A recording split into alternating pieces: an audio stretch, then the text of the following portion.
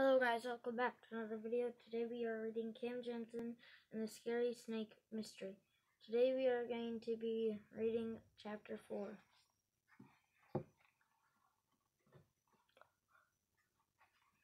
Cam closed her eyes and said click. She said click again. Cam opened her eyes. I'm sure that's him. There's an ink spot on his pants right near his left pocket. I saw the spot just like that on the thief's pants. Let's go after him. I won't chase him, Miss Jansen said.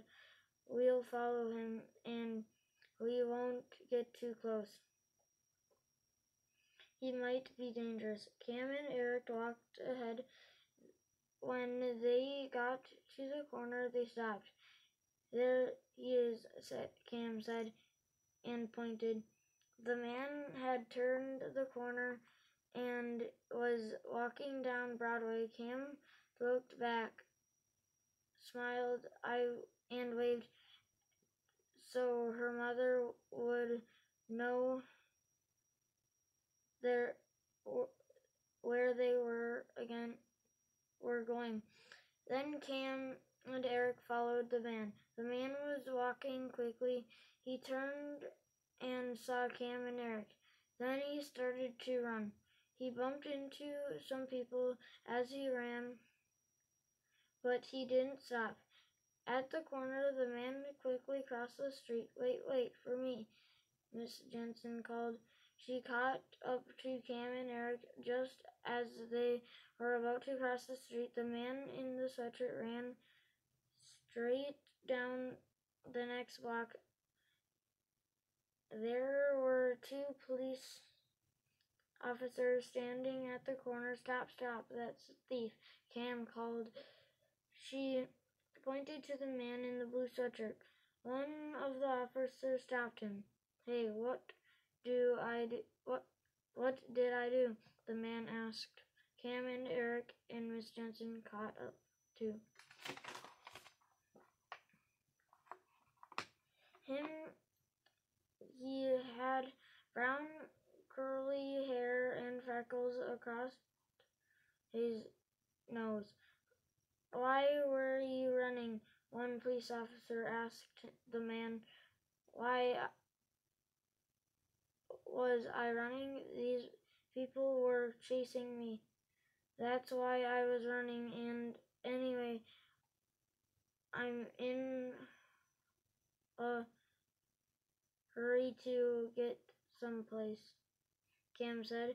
He's running because he stole my mom's mother's camera.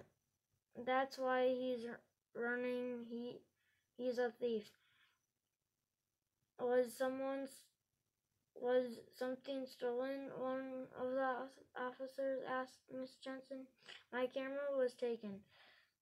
Miss Jansen said it was a large canvas bag. Someone pulled it right off my arm.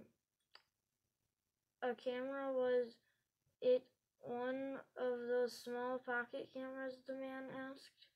Cam pointed at the man as and said, "You know what it was? It was a video camera, and you took it." The man smiled. And where did I put it?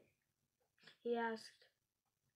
I don't have any camera and I don't have a yellow bag. The man wasn't carrying anything. He was wearing a sweatshirt, jeans, and sneakers. There were two large openings in the front of uh, of his sweatshirt. It it was a place for him to keep his hands warm on cold days. There was no place for him to hide a large canvas bag and a camera.